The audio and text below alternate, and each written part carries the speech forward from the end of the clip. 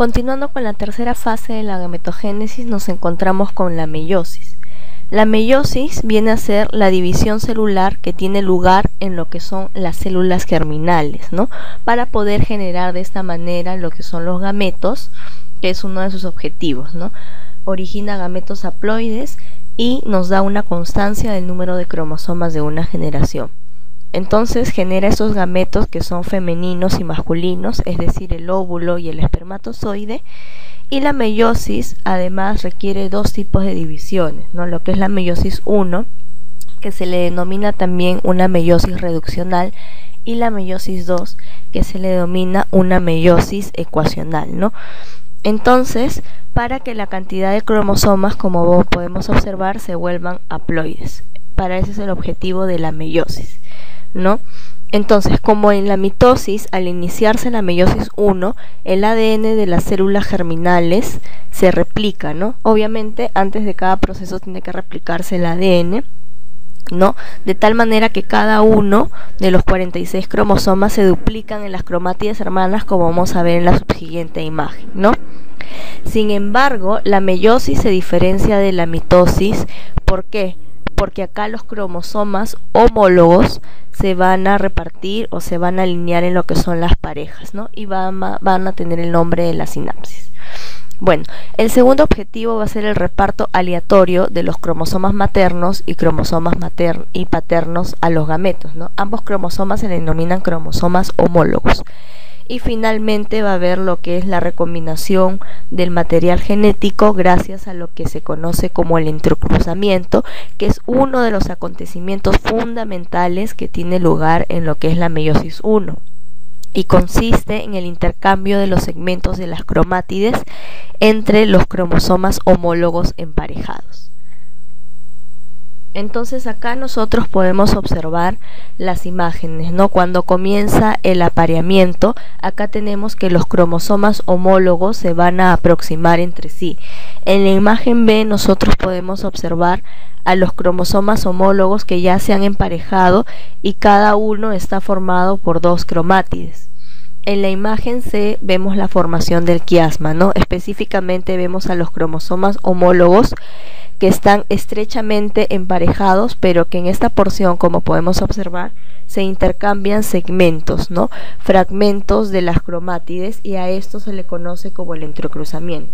Como había mencionado en uno de los objetivos, en este entrecruzamiento es el que se da la recombinación del material genético y el rezago de este entrecruzamiento viene a ser lo que es el quiasma, ¿no? Entonces, específicamente el quiasma viene a ser el proceso de separación y viene a ser los puntos de intercambio que quedan temporalmente unidos y forman una estructura en forma de X como podemos observar. ¿no? Ese es el quiasma, un punto de intercambio en donde hubo recombinación de lo que son las cromátides hermanas para pasarle una parte del cromosoma paterno y otra del cromosoma materno. En la imagen D ya podemos observar que los cromosomas se están separando, ¿no? Entonces esta viene a ser la separación de los cromosomas hacia los polos y en la primera anafase también vamos a ver la separación. ¿no? Hay que recordar que la profase en la meiosis 1 es el proceso más largo que existe, ¿no? Dura muchas horas a diferencia de la profase 2 y de la profase de la mitosis, ¿no? Y acá ya las sucesivas divisiones, ¿no? Una vez que ya se dio la primera división, se separan los cromosomas y ya tenemos acá eh, los cromosomas reducidos, ¿no? y en la segunda acá ya tenemos 23 cromosomas, ¿no? O sea, hasta acá ya se redujo a la mitad, pero son cromosomas dobles, mientras que en la segunda división meiótica se forman cuatro gametos distintos entre ellos, pero con 23 cromosomas simples, a diferencia de la segunda de la primera división que los cromosomas son dobles. Y acá esta es una imagen, es un gráfico sacado del libro de Lackman, que es una imagen muy representativa, debido a acá que esto representa un gameto que puede ser tanto el ovocito como el espermatozoide primario después de la duplicación del ADN y tiene 46 cromosomas dobles, ¿no? es decir, después del periodo S de la interfase. Entonces, acá tenemos una división meiótica normal en donde se da la primera división, acá ya tiene 23 cromosomas dobles y acá la se da la segunda división, la primera división también, ¿no? se forman las dos células hijas. Pero en la segunda división meiótica, acá también hay 23 cromosomas, pero son simples, ¿no? Y como vemos, en la anafase del periodo donde se separan, entonces se separan las cromátides de los cromosomas homólogos y vamos a ver de que cada gameto, porque acá está representado los gametos, que son cuatro, el producto final, está formado por 23 cromosomas simples. Es cuando es una división normal. Cuando hay una alteración en lo que es la anafase, es decir, no se separa, se produce lo que es la no disyunción, que puede ser en la primera división meiótica o en la segunda división meiótica. Entonces acá tenemos un cromosoma extra, ¿no? Que no se ha dividido. Este que dio origen debió pasar uno acá y otro acá, uno materno, uno paterno, pero no, se fueron juntos. Entonces acá hay 24 cromosomas dobles. Entonces esto va a repercutirse en la segunda división meiótica, en donde los cromosomas van a estar en los gametos, ¿no? Entonces cada gameta en vez de tener 23 cromosomas, como sería el caso normal, tienen 24 cromosomas porque pasan juntos, ¿no? Hay dos cromátides. Y acá, como no pasa nada, tienen 22 cromosomas. Lo mismo sucede si el defecto se da en la segunda división meiótica. ¿no? Vemos que acá la, no disyunción se produce en la segunda división. La primera división pasa normal, ¿no? un rojo para acá y un azul para acá, uno materno, uno paterno, con los segmentos intercambiados y el punto que quedó era el quiasma. ¿no?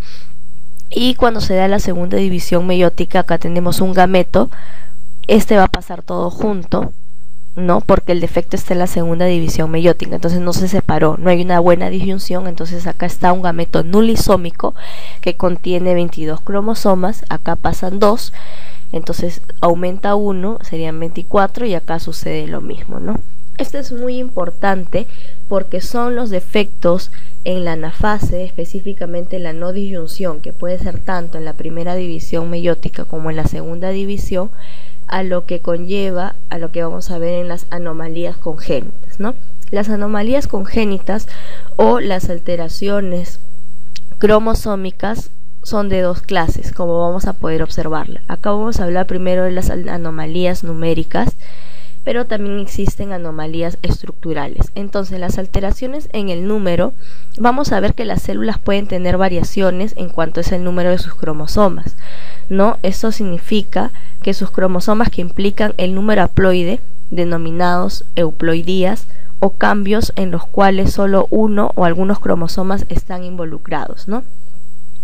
¿Qué quiero decir con euploidías? Que el número de cromosomas se mantiene constante, ¿no? Pero si en las alteraciones numéricas aumenta uno, como en el síndrome Down, vamos a tener una aneuploidía, ¿no? Porque hay una alteración. Asimismo, si falta un cromosoma, como en el Turner, también se denomina aneuploidías.